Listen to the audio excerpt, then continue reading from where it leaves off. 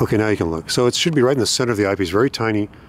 That's about what Galileo first saw. You can see that there's obviously something there, like a little elliptical oval.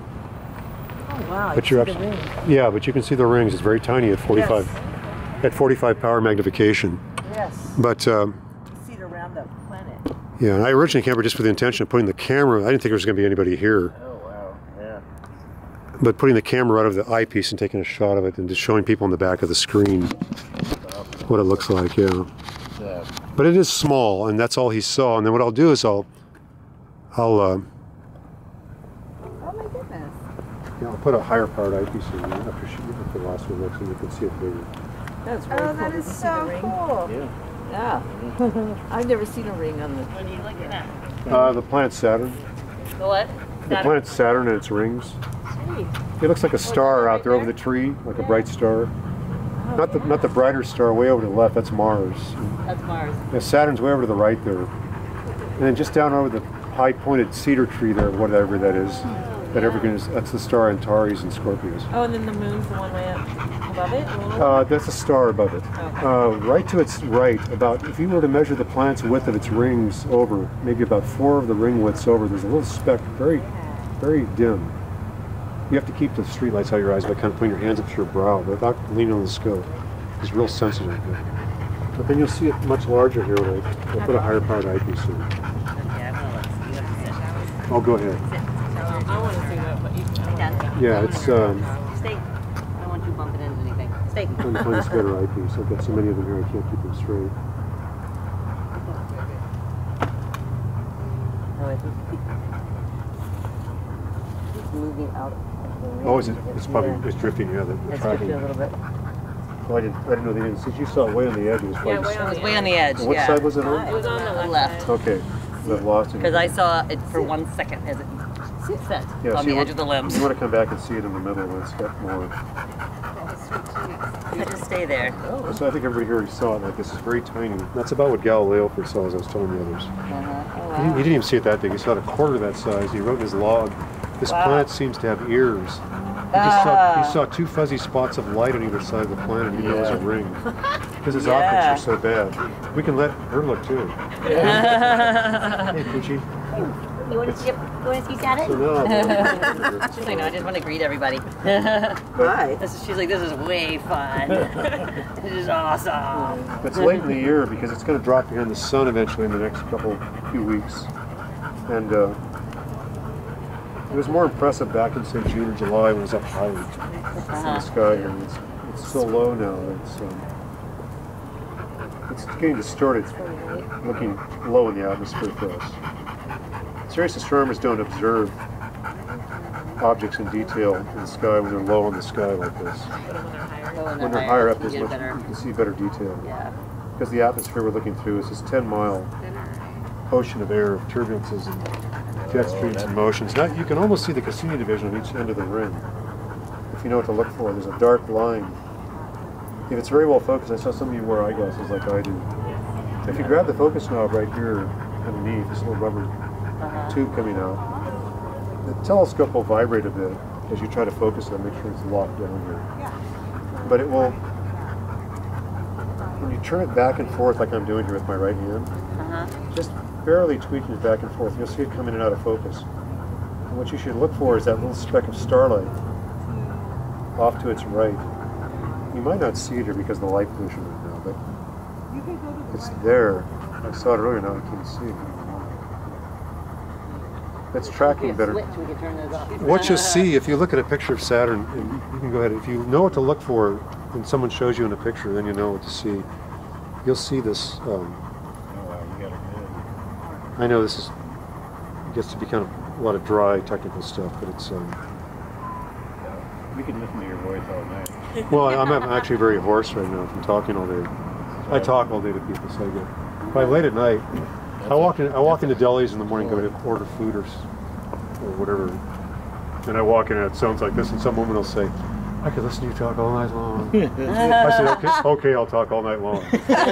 So, um, but by late at night, it gets down to it kind of it gets hoarse like it is right now, and it gets quieter and quieter.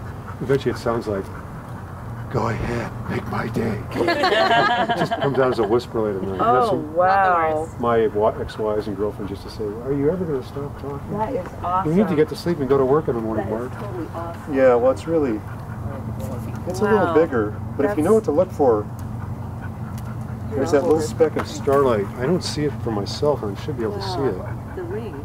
Um, Oh, that's much more clear. Yeah, you can really see it. Which way do I look for the starlight? well, there's a little speck of starlight to its right, and it's its largest moon, Titan. But I don't. For some reason, I just don't see it there right now. I need to move the, the scope a bit. Right, but I'm getting a much better view of the Well, I can go even bigger, Super yeah. cool. We're not. Yeah. There's there's lots of eyepieces to look through. Right. And you can magnify a lot more but the problem is you're you're dictated by what magnification you can use any given night by the atmospheric conditions So you get that on your phone? well this is just on on the internet right now but this is what you're seeing um, Yeah. Yeah. if you know where to look on the edges of the ring there's actually a little dark line like this around inside the Uh-huh. ring it's called the cassini division galileo never saw that but about a half a century Take a later picture of that. Oh, I'm sorry, sure. I can hold, why don't we hold up over this phone? Can you do that? Over the, while she's looking, would you do that? Take Yeah, a go, picture go, of go, her. back here. That way you can see what somebody's looking at and what I'm also doing. Yeah, that's good. And can you, can you step back and watch the camera? Oh, I was gonna yeah. say. It's actually filming. Is it really? You just don't bump it. It's actually, it's in video. There we go. But if you, would you take a picture of me standing here like this doing this and send it to me? I'm sorry, I'm asking a lot. Oh, sure. But, the- but just don't, just don't bump into that thing. It's gonna. Does your phone take a better? I mean, let me see. I'll just I'll do this real quick. Now I'll show you what this will do. Um, actually, I'll show it to you in the camera. It won't look this good, but I'll show you what it can do. Let me show you this real quick. I'll prop this up here for the purpose of display. And I'll put this over the eyepiece and let oh, you yeah, see this. You can do this with a digital camera today, and uh, you might see that what I'm showing you on the phone right now. That's awesome. Thank you so much for Oh, showing sure. me Saturn, sir. Hey, you're welcome. Sure. I want people to see this though. All right, thanks for looking. There's a, there's actually there's actually more to the universe than this. but I thought she was with you. She you- is. She just we're she drove separate car. Okay, I'm sorry. But what you can actually see is um, Yeah. I'm so, I didn't mean to babble so much about my life and everything else, but I get told I do that. I get told I do that a lot. I'm actually Oh, that's cool. I tend to be over animated. I'm actually a background extra actor too for movies and things in Portland. I've been in Portlandia twice and Grimm a couple of weeks ago. Or, Oh, I didn't even know I was going to do it until they sent me a text one day. we're Grim Hunters. I don't know anything about the show really. I've never even watched it. Oh But my I, God. you'll I've see me in the it either, but I've seen them filming it. you'll see me on the January issue or January episode, I guess. yeah. I've went to a lot of places where they've taped. Yeah, Yeah, where'd you guys tape at? uh, it was at a warehouse somewhere northwest industrial. And they were they were in a park. We had to lay on the floor restaurant. dead for nine hours with guns in our hands. I didn't even know I was going to do this until I got there. But How'd you get it? The- oh, I'm listed with the services, and uh, Oh, nice. I'm trying to. Here, this is still filming as I'm going along here. It's been going for eight minutes, so I'm trying to describe what I'm doing here. Here it is. I just got it. See it? Oh yeah. It's very tiny. Now watch when you. Oh, I forgot. I'm actually in. I'm in video mode. I forgot. What I'm going to show you is what it does in still mode, and that's going to be another second or two here. Okay. It's just you'll see it once it comes up here. Can you imagine people not just sitting in their homes, not watching television when they could be out here doing this? Right. It's. But no, I've been up here. I've been up here for hundreds of hours doing this. I actually got to make sure it's still in here. I might have bumped the eyepiece and knocked it out. It's way off to the edge, and you catching bugs? She's doing it all night. yeah. oh my gosh, did somebody look at this recently and they didn't see it because it's out of focus? No, I saw it when I was in there last. All right, saw it because and was in. I think I just knocked it out of focus. Is what I did. I'm waiting for it to move here. It's. I'm trying to adjust it.